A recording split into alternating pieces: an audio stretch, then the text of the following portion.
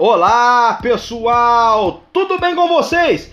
Mais uma vez, sejam todos muito bem-vindos a mais um vídeo do nosso canal. Agora vamos deixar vocês, nossos seguidores, bem informados dos últimos acontecimentos da casa mais amada e vigiada do Brasil. É, você vai ficar sabendo como foi realizada a formação de Berlinda na noite de hoje. Além disso, você vai ficar sabendo de uma enquete atualizada deste 15º Paredão. Isso e muito mais você vai conferir agora.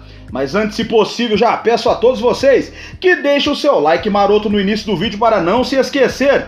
E se inscrevam no canal que é muito importante. No programa desta sexta-feira foi realizada mais uma formação de Berlinda no Big Brother Brasil 2020. Após entrar em contato com os brothers na sala da casa, o apresentador comunicou a formação de paredão. Tudo começou com a líder da semana, Mari Gonzalez.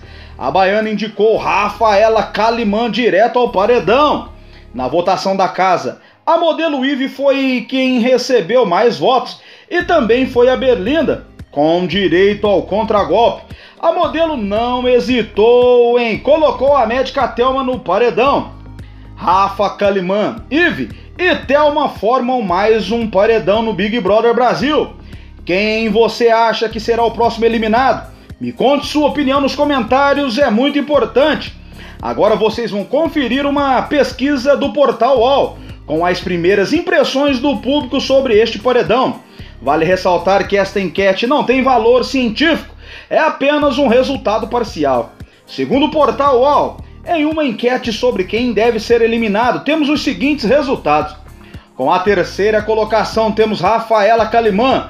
A influencer recebeu 10% dos votos e não será eliminada no confinamento.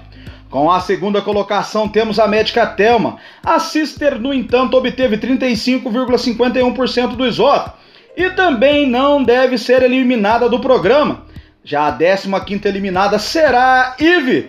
A Sister obteve 54,25% dos votos e será eliminada do programa. Agora quero saber de vocês, o que acharam da eliminação da modelo?